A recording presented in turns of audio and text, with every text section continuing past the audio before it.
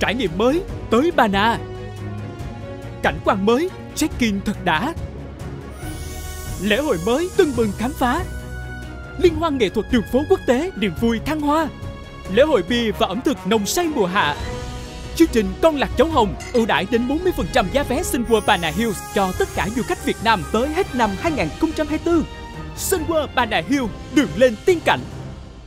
Sun Group, làm đẹp những vùng đất.